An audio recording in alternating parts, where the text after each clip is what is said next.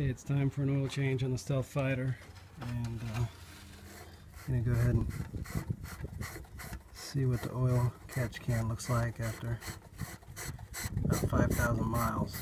I'll write down the exact mileage in the video description. Oh snap!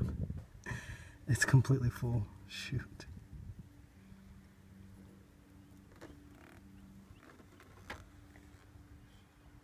So it looks like maybe um, I should check this more than once per oil change, I guess. Can is completely full.